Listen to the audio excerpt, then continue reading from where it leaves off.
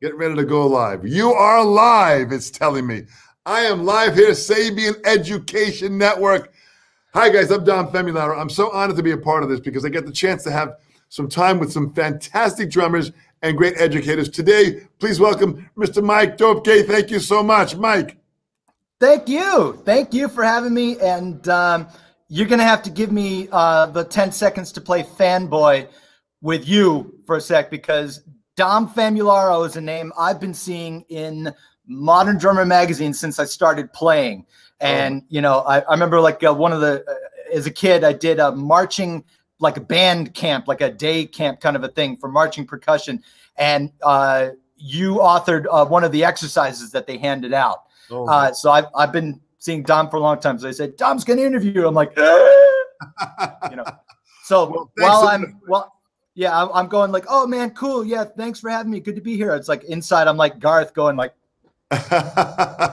well, Mike, really excited. Just to let you know, I think I have underwear older than you, so that is really, really an important part of the journey of getting older, for sure. That's, I believe it. Great stuff, Mike. You know, I'll tell you something. I'm so impressed with a lot of the video stuff that I've seen of yourself, and just hearing your reputation as a player and as an educator at MI. Man, you really you're oh. really doing a lot, and I want to kind of hit all aspects of of what you're about, so people get to know you and know sure. how to contact you. You know, so they can get a hold of you on your website, on your social media, because I think anyone that's listening to our voice, whether it's now live or later on when this is recorded and on Facebook and Sabian's YouTube channel, I sure. want I want them to seek you out for lessons for sure. Thank you for the plug. I appreciate it, and I'll be I I mean, it sounds cliche. I love teaching, but I really love teaching and giving people, uh, you know, on lesson or online lessons, whether it's their first lesson or whether they've been playing for 20 years. It's like, yeah. I love it. It's like, yeah, contact me. You can, uh, my website is just mikedupke.com, uh, all one word. And I'm, uh, my Twitter and my Instagram is both, I think they're both Mike Dupke drums. Uh, if you search that out and, um, yeah, I or yeah, either through my website or any of those or Facebook as well. Find me, contact me, and would love to hook up. Fantastic, Michael. I know you're you're out in the LA area, so people can can connect with you and do it. Now, a couple of things. Now, you started at a young age playing, so just fill me in a little bit on on what connected you to drumming. Um, I was one of a billion child Kiss fans. I think. um, you know, I remember like a, in a documentary, Paul Stanley was saying that he thought something was wrong when you know it was like 78 or something. And he looked out in the line uh, of, of kiss fans to get in the concert. And he goes it was families. And it was four year olds i'm like well i was one of the four year olds i never got to go see them until later. But uh, they they were my favorite band when i was in kindergarten. So peter Criss, um, was uh, definitely a, a, first influence once I heard what they sounded like. Because I thought they were a disco band. The first song I heard by them was "I Was Made for Loving You." So that, and I liked disco at the time as a toddler. And I said, uh, "Oh, there's in this new disco band called Kiss." And then my my library had uh, had records that where you could you know check out records along with books, and I and I found Alive. And I, and my parents, you know, I convince them somehow to let me check that out and bring it home. And then, of course, you know, you hear what Kiss really sounded like, and you know, it's like, oh, all right, I found this. This is my new thing now. I'm home, and that has pretty much lasted for about 40 years.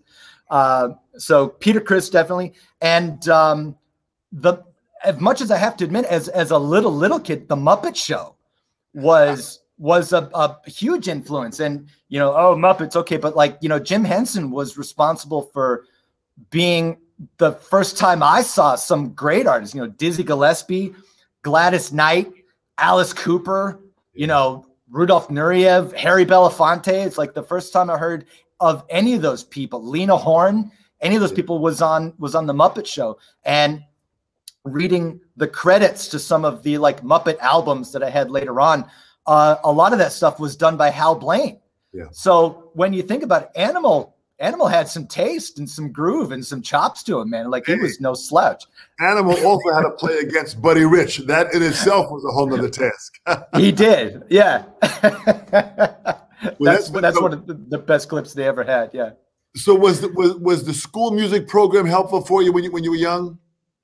Um, I'd I'd say yes and no. Um, only no in in the fact that like they we had like music class once a week, but it was um, mainly learning songs that we were going to sing in church.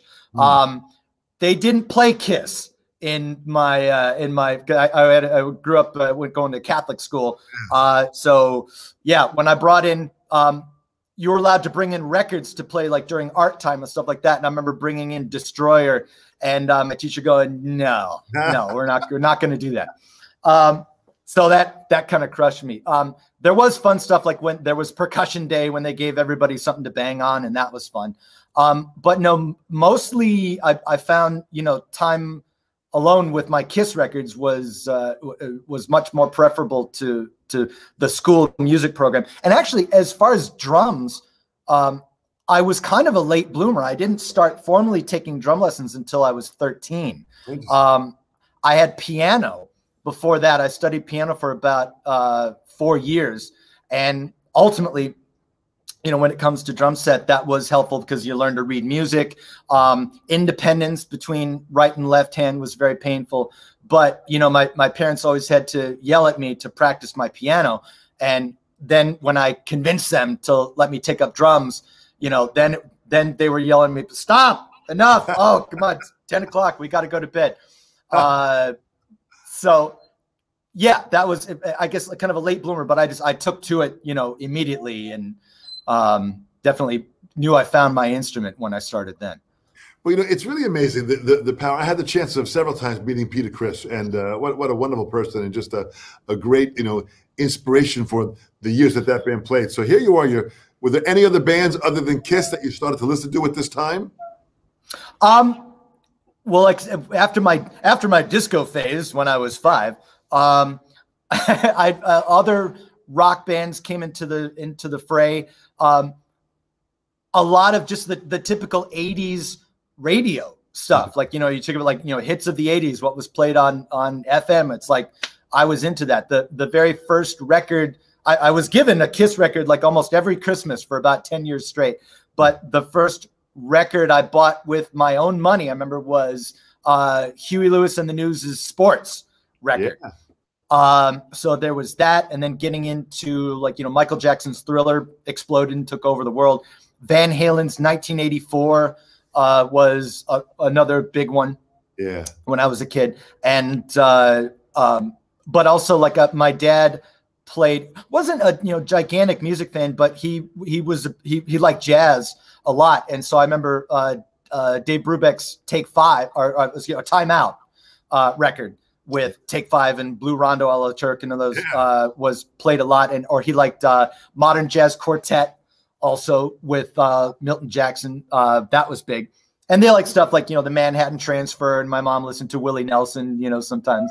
But uh, the the rock was definitely something that I found on my own, and and you know eventually pursued. But there seemed like there was a wide variety of music that you were listening to, which was pretty powerful because you know you you, you have a, an incredible control over the instrument that you can play all different styles and you've got a, a, a feel that can be adapted to any of those. Oh, thanks.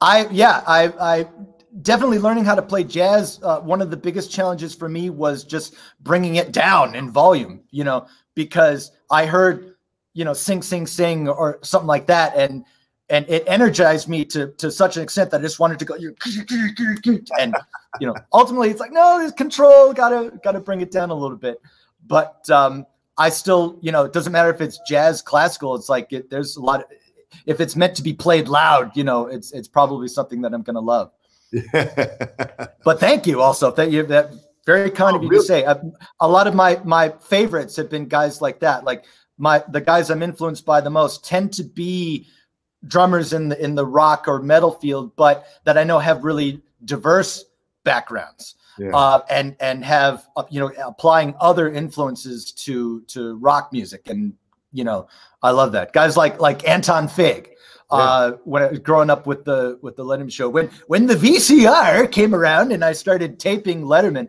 and you know watching him play uh, in the in, in, the world's most dangerous band, it's like that was always a highlight for me, just getting to watch Anton do anything. Boy, it, well, it's amazing. I want everyone to understand that when you mention names like Peter Criss, and if you're not familiar with Peter's playing, which means you probably live in a cave, but if that's the way it is, do the research. But you mentioned Dave Brubeck. That was Joe Morello on drums. Joe, who I studied with for many years, and Morello was an incredible master as, as, as an educator and as a performer. And then you mentioned Hal Blaine, who we just lost uh, about a year and a half ago. Hal Blaine, another yeah. phenomenal player who played a wide variety of songs. So you're talking about listening, being aware of different different styles of drummers, which was very, very, you know, uh, good to have that at, at, that age. So now you end up mm-hmm. going to Indiana University School of Music and you meet That's up right. with Aronoff. Tell me about that.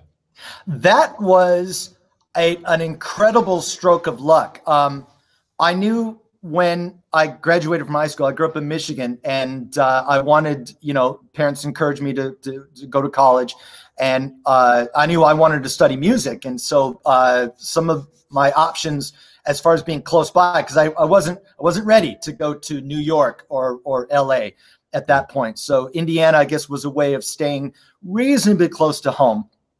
Um, and at the time, I knew that there were, you know, they were uh, nationwide, uh, uh, uh you know, highly regarded uh, music education place.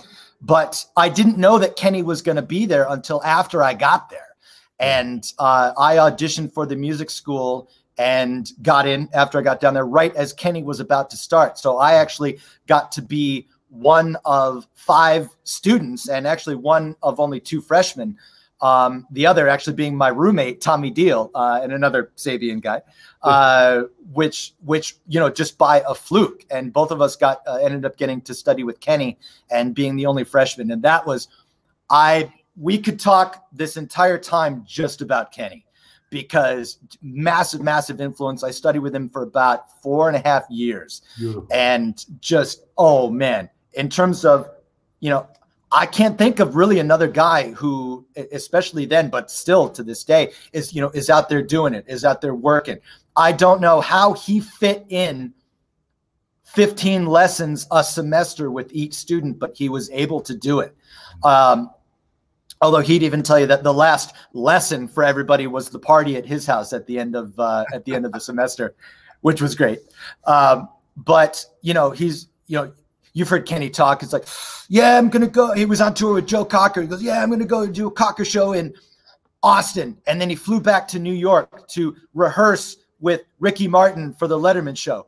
And then he then he flew back to, to Arizona for another show, and then flew back that night to tape the Letterman show with Ricky Martin, and then flew back. It's like, you know, and it's like, yeah, I'm doing all that. All right, let's hear some paradiddles. And I was just like, wait, hold on. I want to hear about like the gig. You know, I, he was doing what I wanted to do, and and but just also like you know the nicest, one of the nicest guys on the planet. You know, and just you when you're around him for any more than 60 seconds, you get a taste of his energy, and you see why he works as much as he did. He is infectious to be around. His his positivity and energy it just goes you know straight at you musically too. And it's just it's so wonderful. He taught me so much that i still put into practice you know to this day. Kenny is uh, is an incredible you know player and educator and and and his commitment to health and well-being and mental you know you know discipline is really pretty powerful. I've known kenny now for probably about 40 years. And his story was as a young kid he heard the Beatles on the Ed Sullivan Show and always wanted to play with that band, as it what he told his mom. And then years later, when the Beatles had their anniversary on on the, at the same time on the same date, you know, 50 years later, there was Kenny on drums playing with uh, Paul McCartney and Ringo coming up. So it was a pretty powerful, you know, circle yeah. Kenny experience with it. But Kenny also a very school drummer. He studied under Vic Firth at the New England Conservatory of Music. So you know, Kenny was a very very school drummer. So you had some great great you know, you, you know, education from Kenny? Were you working on books? Were you working on techniques? What are you working on with Kenny? Um, technique, and uh, there were there were certain things that he had to do as far as as the school requirements was concerned. Like uh, at IU, you had three options. You could either be education, which meant you had to also learn how to play trumpet, clarinet, saxophone, trombone, and, and everything else. Um, classical percussion, which meant you also had to study timpani, uh, you know, uh, crash cymbals, triangle, and and you know everything that the classical world involves, or wow. jazz. Wow. And if you were a drum set player, you went in for the jazz major. So that was that was what I did. Um, and on top of that, you know, we did have to learn mallet pieces. You know, I, I had never improvised on vibes like until I got to IU, but the the piano background did help me with that. Um, even if playing a piano with sticks was completely foreign. And you know, and for like my senior recital, I had to do a timpani piece, and I remember thinking it was kind of study that here I am with one of the greatest legends of drum set of modern time, you know, is going out and playing, and we're, you know, we're going over timpani technique, and I'm kind of like, let's let's do some rock stuff. But we did plenty of rock stuff too. Um, the I remember on one of the very first assignments that he gave to the students, he goes, "All right," he goes, "I want you all to transcribe Back in Black, note for note, like you write it out, and be able, and then play it and perform it, and not only."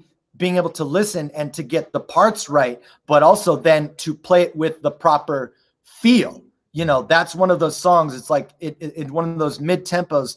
I'm sure you know that can easily be too fast or too yeah. slow. You know, I, I have no doubt you've heard that song butchered by, you know, umpteen kids. You know, probably. Know, like, I'm gonna throw some double bass in there. It's like, oh, oh, oh no, fired.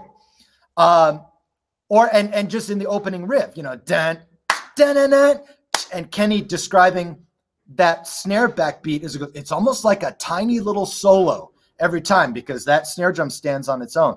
Yeah. So he would he would listen to us play it and you know kind of and and he would tell us you know on on ahead behind behind ahead on with with the backbeat and that was the, the first real big kind of wake up call as far as consistency is like doesn't matter if you if you know the part it's like you got to play it in in that way that makes people want to strut down the street and anything short of that it's like you got something to work on well, absolutely. You know, and, it, it's it's so great as you're talking about this here too. And, and I, you know, we've got many different people that are logging on from all around the world. From uh, oh, nice. Belgium, from the Ukraine, Victoria from the Ukraine, Bruno from from Antwerp, Belgium. We've got people from Brazil, uh, you know, uh, uh, Regis Ortez. So I ask everybody if you have any questions, put them in the chat section. And also let us know where you're from. We have someone that just said they're from Kentucky. So you've got a real wide variety of You've got some Kentucky fans, fans around Kentucky, Kentucky and Belgium in the house at the same time. I love it. Bringing people together. That's what it's all about. Some serious combination. So in this here now, you you come out of school where was the first gig that you hit? I know you did this MTV Human Wheels thing and you did the Arsenio Hall show. When did that all start to happen after university? Oh, yeah, that was actually while uh, I was going on. That was actually my sophomore year. Um, I hit it, and and it's strange. This is why I tell my students it's like unless the opportunity comes along, unless your gut is telling you no, avoid this at all costs. It's like give it a try. It might turn into something. I did. I did marching band at IU um, because I'd, I'd gone through marching band all through all four years of high school because it was so much fun.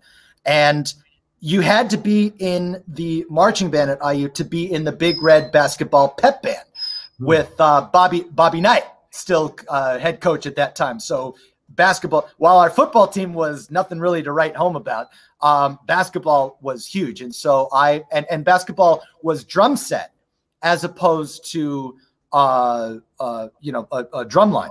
Hmm.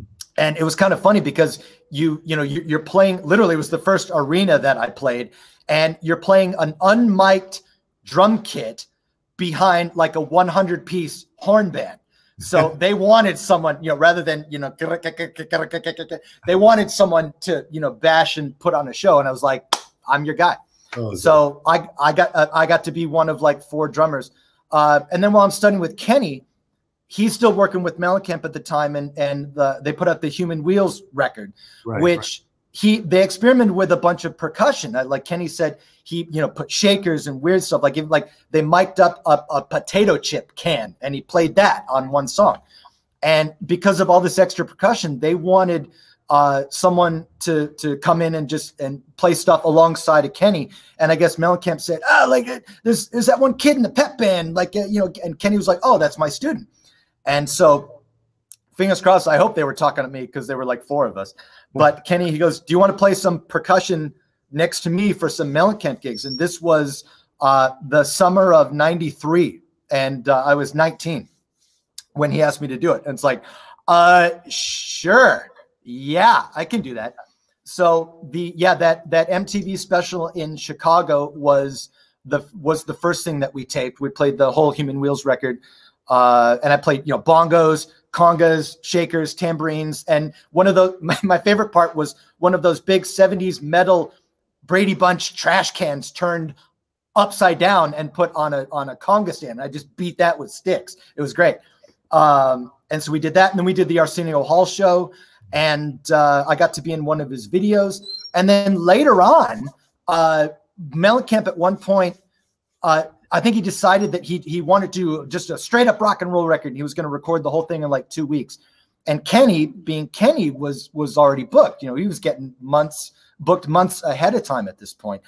And so there was a little bit of friction there, maybe. And so I think, for as much as I'd like to think, believe it was my, you know, you know, the original take I had in the, I think maybe uh, Mellencamp said, well, I'll show you, I'll get your student to come in.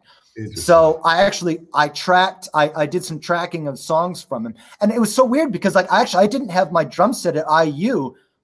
So I had to borrow drums from a buddy of mine and I didn't have a car. So they rented me a car so I could get out to uh, Mellencamp's studio on a regular basis. I was like, wow, this is all happening very quickly. Uh, and, and was, I ended up doing dance, that was Dance Naked, right?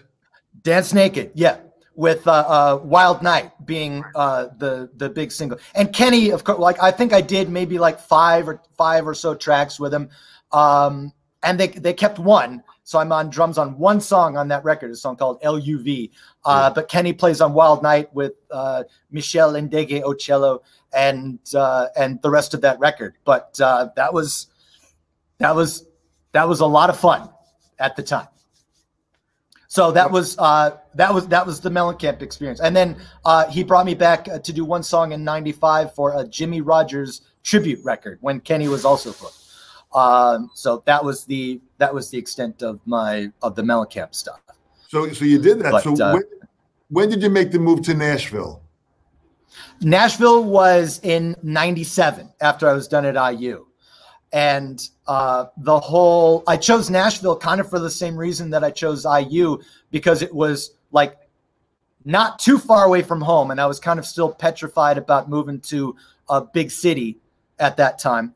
Uh, and when in about 97 you remember the whole thing i called arena country was taking place where garth brooks and uh, shania twain were were packing out you know arenas all over all over the world and just with the music business in the state that it was, which was booming in the mid 90s, it yeah. kind of made it sound like they were handing out gigs at the border.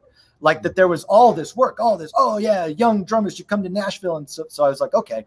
Um, kind of not knowing at the time, at, you know, realizing in hindsight that the, you know, the country music recording world and stuff like that was still down to a very limited, close knit family right? Like it was, it was still, uh, uh, you know, a lot of guys like uh, uh um, uh, Eddie Bayers and Larry Londin, probably who were still probably doing the majority of those of those records. Um, but I did, I, I, I got a couple of gigs and and that was fun. Um, I got I got a gig with a cover outfit in. If you're familiar with Nashville, there's that place called Printer's Alley, and uh, there was one of the tiny little holes in the wall was an after hours bar, and uh, I got a gig playing three to six a.m. on Wednesday night slash Thursday morning, uh, just doing covers filled, you know, with a, a big bar full of people all the people who don't want to go home on a Wednesday morning, and it was the, the the makeup that was like the Star Wars canteen. It was pretty, and then of course you know you load out and the sun's coming up, and uh, you know, I get my egg McMuffin on the way home, and then and go to sleep. But um, in Nashville, uh, the the person that uh, was uh, really valuable to me was Cinderella drummer Fred Coury. Yeah. Uh, I had seen because I was looking to like, okay, I need to record a demo, I need to do something, and he had his own studio in Nashville at the time, and he had placed an ad in the newspaper, and so I, I called him up and said, hey, I studied with Kenny, uh, and ended up uh, becoming friends with Fred, and he actually he wanted to engineer at the studio at the time, so he brought me in to play on a couple of records. And uh, in '98, I think it was, Cinderella reunited and went back out on tour. And one of the bands that they took with them was an LA band called Hair of the Dog. And when Hair of the Dog was looking for a new drummer, Fred gave my name to them, and that led me to moving to LA in '99. Interesting, very interesting. So, so Fred, yeah. you know, so I mean, listen, Fred himself is a phenomenal player. He is, yeah, really, really, and a, and a and a great guy too. Yeah, great guy, great groove. Yeah. I mean, he's just so solid at everything he does, and and I, I enjoyed the best interview. It was really great to great to to have that level. So here it is, your meetups. So how'd you meet Fred in the first place to even allow him to kind of assist you with all this here? Oh, I, after he placed that ad, I, I called him and told him that I was looking for. Uh, so I just wanted to record a demo, uh, and he called me back and, and we talked for a little bit, and he, and he said uh, that I sounded at least halfway decent on the phone. I remember saying I didn't sound like I want to go and record some drums. Let's do it. Uh, and so uh, you, you know, we had similar, and of course, you know, again, I was a fan of uh, you know Fred was a name that I had seen in in Metal Edge and Hit Parader growing up too. Um, but he, he was just really cool, and we you know I, I, was able to to hang out at his studio a couple of times. Um, to this day, I still thank him when I see him, and and he's probably really sick of it. But I will always be indebted uh, uh, to Fred because he, he I guess he got to see me, you know, uh, what I could do as a player, and so yeah, when he knew the hair of the dog guys when they they toured with Cinderella in '98. Right. Um, and then he goes, I, I think I got your guys. So they, uh, the hair of the dog guys actually ended up flying to Nashville and I auditioned for them in my basement, uh, playing a couple of songs for them. And they're like, all right, want to move to LA? And I'm like, all right, guess this is happening. So, now you make, you make the move to LA. Now from Nashville back out to LA, you go out there, you get settled in and Hair of the Dog. You, you did two. Was it two albums with them? Two albums. Yeah, their their first one had started to make some noise, and uh, the second one uh, was the album that ended up being called Rise. Uh, and produced by Michael Wagener, ironically, uh, out in Nashville. So actually, um, since they knew they wanted to, they were going to have Michael, like Michael Wagener was already brought on board to produce before I joined.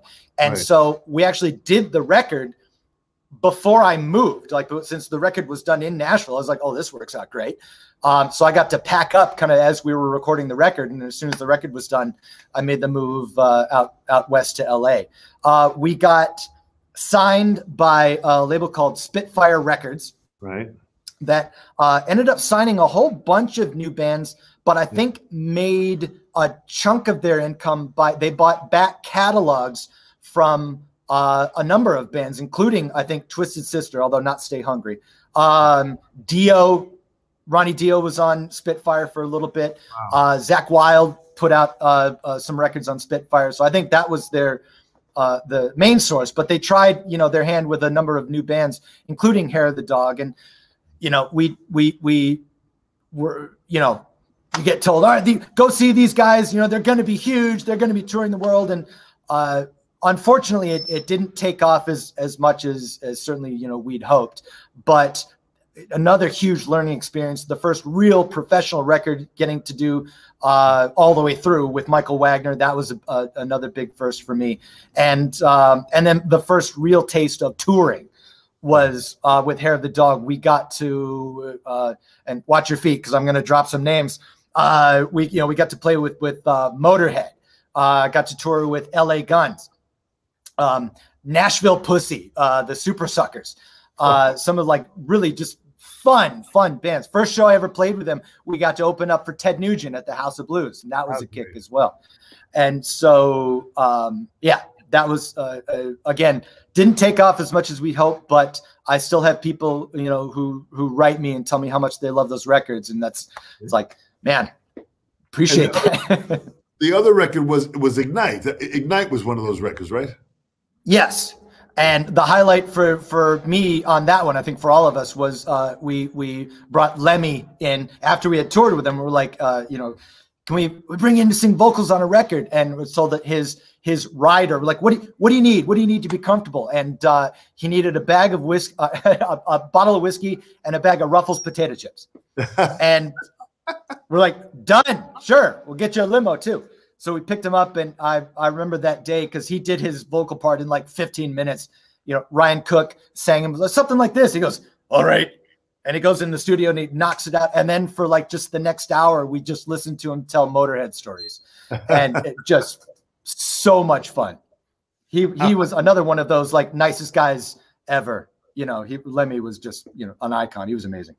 Fantastic. So now, was it after Hair of the Dog you hit up with Eric Sardinas, and it was kind that's of like right. A, a, right. And from that point on, that's and that took him more to international traveling, right? Yes, that was the. Uh, unfortunately, I never got to go international with Hair of the Dog. Um, Eric had the same manager as mm. Hair of the Dog at the time, so we had gone to see Eric several times. Always just a blast. We're always blown away because I'd never seen. You know, I was kind of familiar with blues, but never seen it the way he played. And for those who haven't seen him, you know, he plays a dobro, but plays it cranked up through a Marshall stack and with like major distortion. It's like it is. It, it's still traditional blues, but it's a very rock and roll way to play it because it's just loud and, and raucous a lot of the time. Uh, so we we knew we knew Eric, and uh, about the time he lost his drummer was about the time that Hair the Dog at uh, kind of the end of 2001 knew it's like all right, this is kind of not happening, and we decided to to to put the band to rest. Yeah. Um, and so yeah, I, I was able to audition for Eric, and Eric gave me the first taste of international touring uh, because he was already doing that. He was already becoming a big name in the blues circuit. And actually, the very first show I ever played with Eric was in Germany. The very first time I had ever been there. Oh man, terrified. uh, but Eric went um, to some really unusual places that I I, I don't know if there are uh, a lot of other people that go there. You know, we went to um, the Azores Islands off the coast of Portugal. Beautiful. We went to the Canary Islands. We go, you know, people say, well, what was your favorite place to go in Europe? Was it London or was it Paris or something like that? No, Croatia. Yeah, Croatia. Like Bulgaria, all of those IA countries, you know, it's like, oh man, just amazing people and culture and scenery and like everything about it was just so beautiful. Um, so Eric, you know, went all over the place and just doing laps and laps around not only the states but also, you know, back and forth to Europe quite a bit. So what did you so, find out? I mean, now you're playing Eric, you're playing blues, which is a whole different, a whole different, you know, genre of what you were playing. What was it like? First of all, how were the the audiences in Europe compared to what you were experiencing in the States? Any difference? Um, yes. And I especially noticed that over the next few years with the rise of cell phones, in that, you know, later on as cell phones got bigger, you know, here's here's here's every audience in the States. Yeah you can see my my there's my family. But yeah, just holding up like you know videotaping it. Oh, I'm so gonna enjoy this later once I post it online. And Europe, it's like they there's it really is a different mentality over there where they realize that as a member of the audience, you've got a part to play as well. And so, you know, the, the cheering, the dancing, the applause, the singing along, way bigger over there. And of course, blues audiences being what they were, uh, and I, I think still are, uh, you know, they appreciate, they love the blues, they'll cheer, but then Eric comes out and just rips and cranks. And, you know, his stage persona was huge. And, you know, there he is, you know, he lights the bar on fire, you know, plays slide with a beer bottle and then it explodes. And people, you know, going, oh my God, they'd never seen anything like that before. And so I, you know, having, and so it was totally appropriate for me to play a Texas shuffle while banging my head as, as hard as I could. Uh, and so in that, yeah, we we we look forward to you know ripping up you know eating blues audiences alive as much as we could. But uh, you know, great fun, and I I was with Eric for about uh, three years. Um, before it just you know became about time to go. But uh, you know, I I still see Eric now and then, and uh, just he's amazing. I was like, if you haven't checked him out, do yourself a favor and go see him live. He's just he never disappointed at all. Absolutely, man. So you're you're really kind of getting around. So now you're you're, you're globe trotting at that point. So now, how did Wasp come about? How how'd that start? Um, in 2005, at that point, I was now working a straight job. Uh, I the first gig I could get was for a, a magazine distribution company in Eagle Rock, because uh, I had a I had a pickup truck at the time, so I was able to work. And um, I and, and doing as many gigs around LA as I could find, including just some cover band stuff. Uh, and uh, like one of the one of the gigs was in one of the beaches playing like Beatles and Zeppelin covers on Saturday afternoons.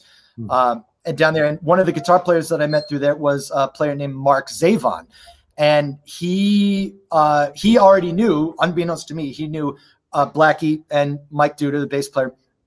Uh, and so when Wasp was looking for a new guy, um, I and uh, he he relayed my name to them, but I'll never forget when I got the call because you know I'm working this job that I had to be at like at five five thirty in the morning.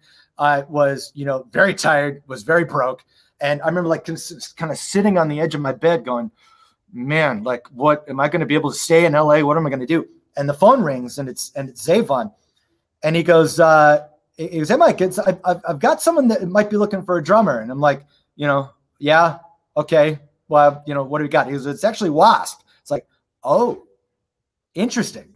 Um, short story long, over the next few days, like I, I, I got I got the phone call. That was a that was a Monday. On the next night, I go over to meet Mike Duda, who hands me a bunch of CDs. All right, learn these four songs. uh, and uh, okay, and, and I talked to Blackie on the phone, I think for about 20 minutes, and he told me what what Wasp needed as a drummer.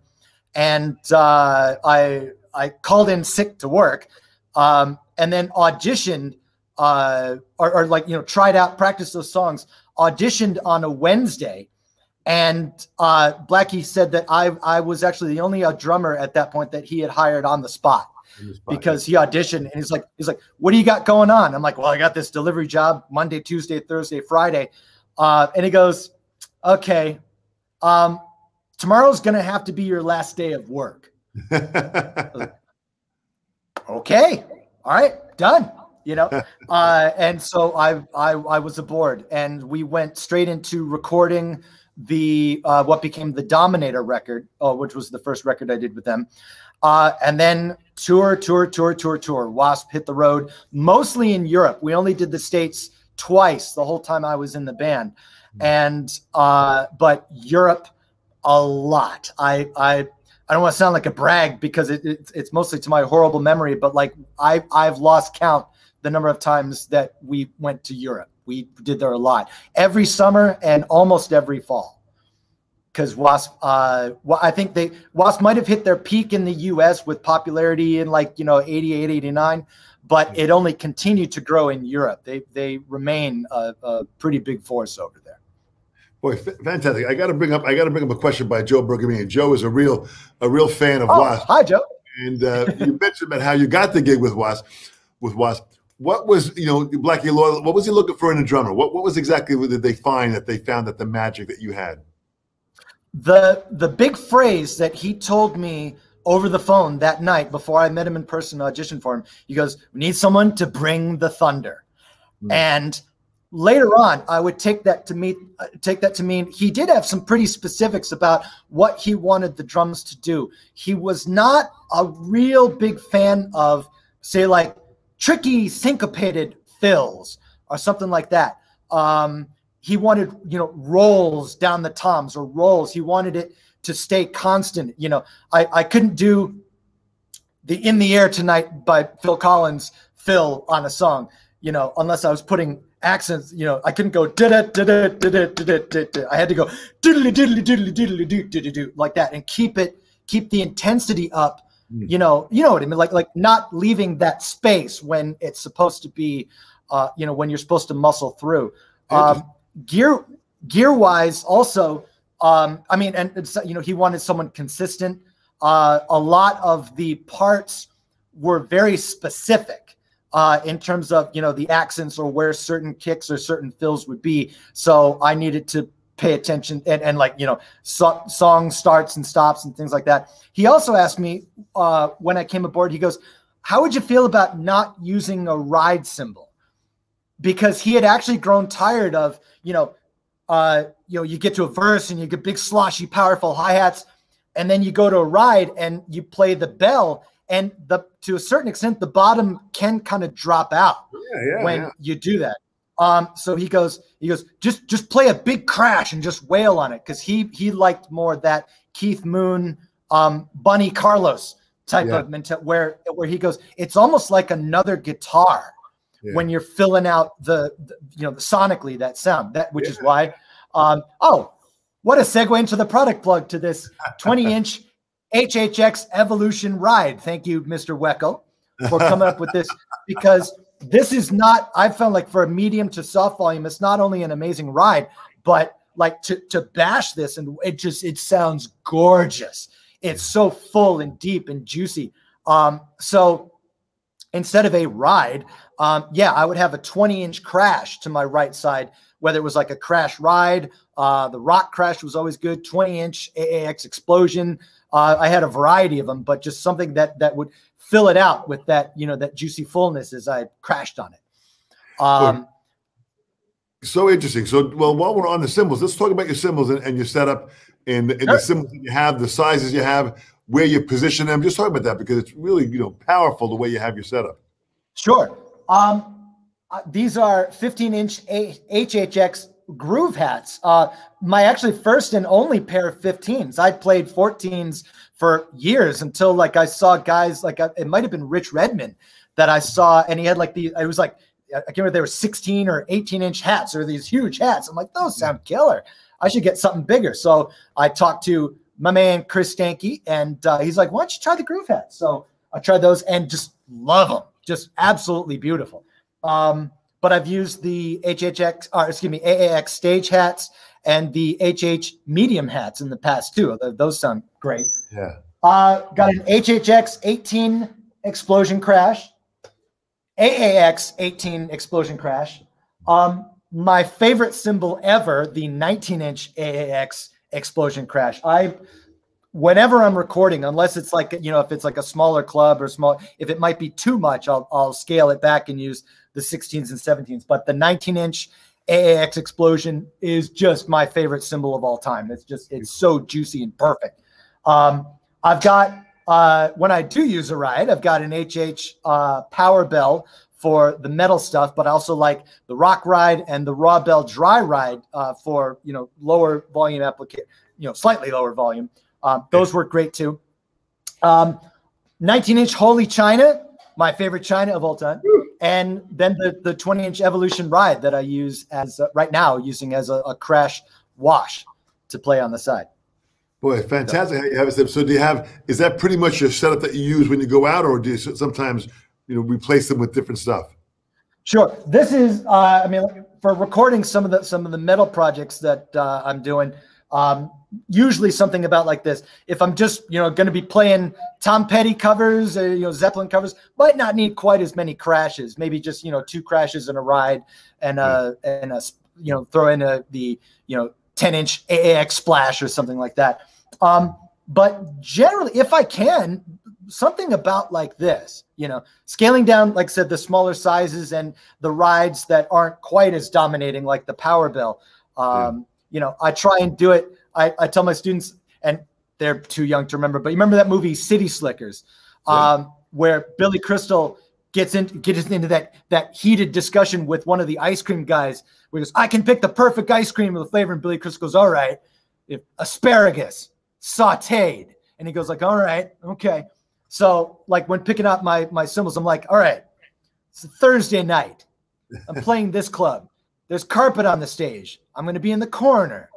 You know, and and and and trying like to go, all right, which ride is going to be the you know appropriate one? And of course, I'll bring like you know two or three because as, as you know, a lot of times with cover stuff, you you you start off lower in in volume, and then uh, you know as the night goes on, people drink, more people dance, and then you know it can get can get louder. Like, all right, we're gonna swap out and put the rock ride up now. um, so yeah, that was something for, that Kenny actually installed. Like, you know, take more gear than you need. You know, I that's why I take. You know, it, it doesn't matter if it's just Zeppelin and Beatles stuff. I'll take three snares just so I have, you know, just in case. So I mm-hmm. have them uh, in case I need. But very, very smart. But that, that's what makes yeah. you the pro that you are. As a pro man, you go in there fully prepared. You're ready to yeah. hit. A, a, uh, a, gentleman I've known for years because I, I, went to uh, high school with him is Dee Snider. What was it like working with Dee Snider? Oh, well, nerve wracking at first for the same reason I, I, you know, was hyped up and trying to play it cool. But he said, Dom Famularo. I'm like, oh, because of course I was, I, I had, you know, Twisted Sister records, um, Stay Hungry, still one of the classics. Um, and uh, one of the there, there was a, a, gentleman who was on the staff with Wasp for a little bit, who also started working later with Dee.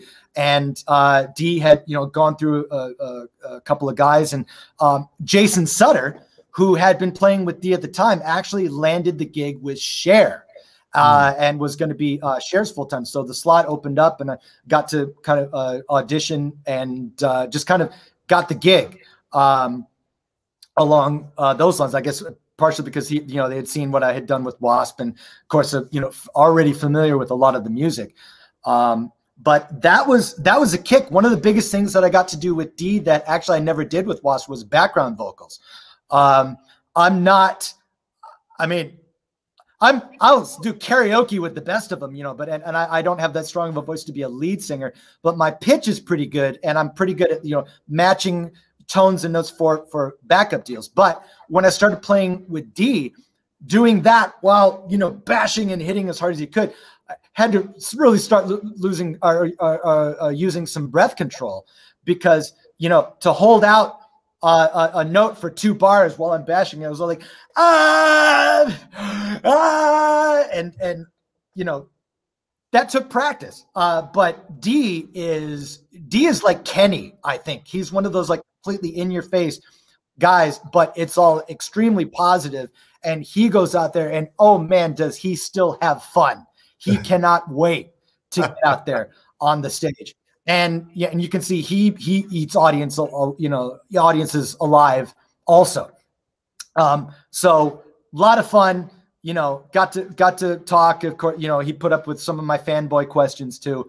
Uh, but that was just an absolute blast. Uh, he ended up doing that metal record and using uh, uh, Jamey Jasta's guys who are on the East Coast, and that yeah. kind of became his new touring outfit. So it was only, uh, you know, a, a, fairly short time. I think I got to do maybe about, tw- I think like twelve or thirteen shows with him, but uh, just absolute blast. So much fun. And, uh, you know, if he ever wants to give me a buzz again, I am at the ready. Oh, I'm sure. That I'm just, sure that's going to happen. I'm sure that's going to happen for sure. So, so then you go on, you you graduate MI, you start teaching at MI, and and you're there doing your thing there. I mean, you know, so how does that feel now, doing the teaching thing?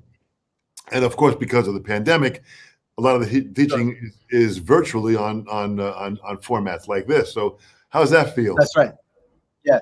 Um, I had, I had made I kind of got forced into doing a, a big uh, virtual switch because uh, in addition to Musicians Institute, um, where which kind of funny, it's like you, would be amused to know like I actually before I went to to finish my degree at Musicians Institute, I actually I did a clinic there. I did a couple of what they call open counseling, where someone comes in and they're there for two hours to play and answer questions. I did that, and then I became a student and then I graduated from from MI, and then I eventually joined the staff as as a permanent member. So I might be I, I might be one of the only guys who like did clinics and then like actually then went to the school. Um, but MI is is wonderful, and I also I do uh, I, I teach at another place, a more kids music school, uh, kid oriented music school called Join the Band yeah. in Van Nuys. Um, they got some notoriety a few years ago because uh, Dave Grohl put uh, he put out this short film called Play, and it was about music education. Yeah. Uh, his daughters actually were students that joined the band, and he he had even like been there. And if you if you watch Play, if you just go to YouTube and search Dave Grohl Play, it's on there. the the the shots of the music school of the kids taking lessons that was at the join the band so i'm teaching there too so when lockdown happened yeah mi and join the band had to go virtual and i had to kind of up my technical game by like you know getting an interface and and getting something uh, that was going to sound decent because as i'm sure you've heard you know playing your drums through a phone just like all right now i want you to play this and it just sounds like you know like i couldn't make out any of that. Um, but the, we found that like the parents and the students, whether they were MI or or joined the band, seemed to to make the the jump to virtual without too much of a problem. Yeah. Um, yeah, like my students seem to seem to do okay with it. Um, the only difference being, you know, you can't physically be there to, you know, adjust something on their kid or or or to, uh, you know, you, you can't see everything that they're doing uh, all the time because a lot of the students don't have you know the, the multi-camera setups like fred dinkins does uh, which is awesome because I, I watched you interview fred the other night too and i saw like fred's got like 15 cameras all over like oh that's the next step. I need to do that. Um, but most of them seem to be seem to be enjoying it. Uh, hopefully you know knock on formica everything will you know be coming to an end hopefully reasonably soon and stuff can uh, and open back up. But i was thinking about that going, but the cool thing about virtual lessons is, is, you know, now it's like I can still teach lessons to someone, or now I'm better equipped to teach lessons to someone in Norway, um, which I did a couple months months back on on that uh, the Meathook app. Uh, there was a, a, kid in in Norway that just was a big Wasp fan, and he goes, he goes, let's do a lesson. I'm like, yeah, sure. And uh, so you know, just get to you know talk about drums and he mainly just wanted to hear wasp stories but it was it was a lot of fun. So now i'm hoping that the future will be you know uh, we can go back to some of the in-person thing you know the campus at mi will open back up completely and join the band as well. Uh, but you know people now will probably be even better equipped to do virtual lessons and say oh i can't make it across town today uh, to your practice space. Uh, let's just do virtual. We'll do it we'll do a zoom lesson from home. I'd be like sure absolutely we can do that this is now 21st century education. It's happening, you know, not only in the in the music industry, but in every industry the way they're teaching now.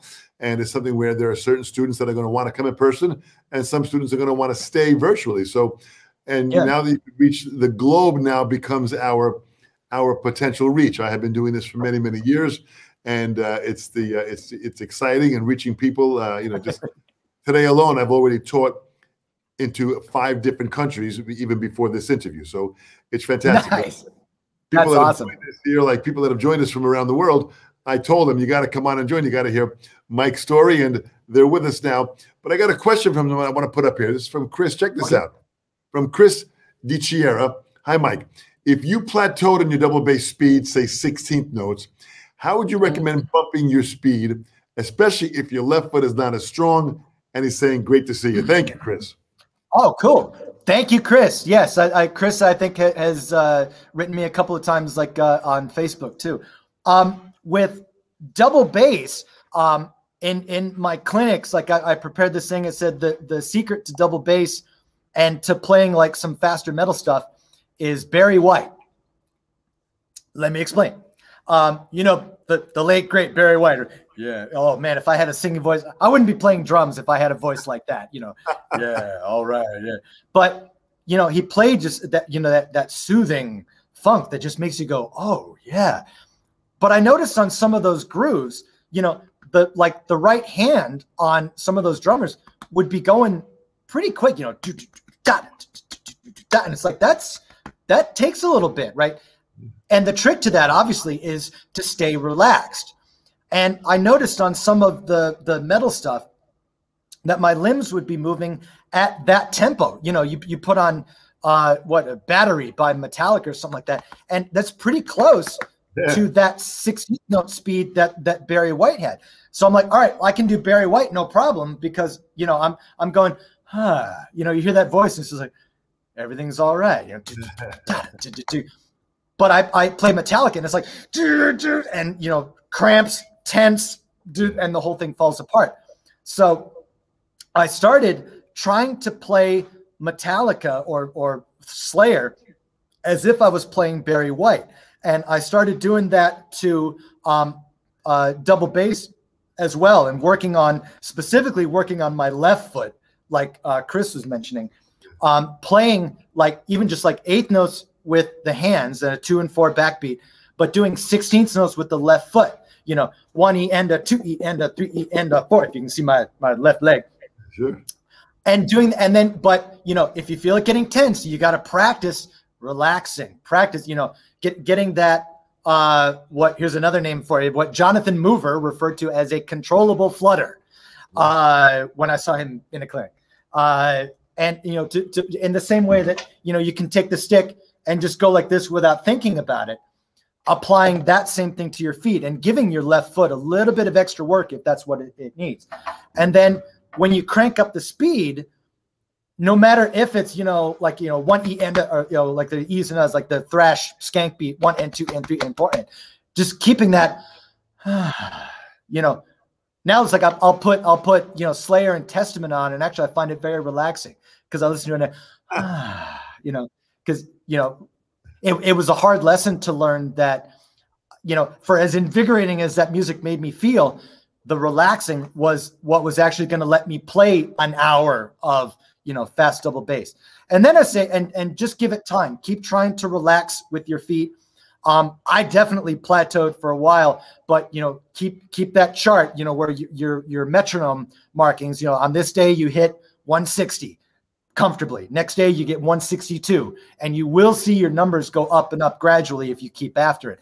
And I, that, and just like I said, learning to relax with your feet because you're not going to hit you know the the you, you can't get that kind of speed with the same intensity as you know rearing back and fire with your hands or lifting your leg up you know halfway to the ceiling it, it it's got to be a more controlled flutter so uh just give it time give it time and the persistence and work your left foot more uh then you're right so that it, it, it catches up so that your feet will be more even boy great that's my my great, great advice, Mike. You know, you mentioned Testament with the great Gene Hoglan, another phenomenal player who's uh, oh. also powerful but totally relaxed. Mike, I got thank you so much. Yeah. You know, of Sabian and, and, the Sabian Education Network, you have done great today. It's been phenomenal to have your your, oh, your advice to be shared. We have got tons of people that are also on Facebook and YouTube at the same time. So you'll have some chance to go back and uh, see some of the comments and see what these people reacted to it. This will go on awesome. forever. So people will watch this. Thank you so much for your time. You have done fantastic. Dude, I just I I I don't want to throw out the term honored, you know, very easily, but dude, it's to to talk to you today has is a huge honor for me. So thank you guys so much for having me aboard, man. This is it's been a blast. Thank you so much, Mike, and thank you for all your support okay. for you know, what you do in the Sabian Education Network. Keep it going. Anybody contact MikeDupke.com. Go to his website, track him down. Let's keep it going. Mike, thank you so much. You've done really, really great. Thank you so much, Dom. I'll talk to you later. Thanks. Bye bye. Bye bye.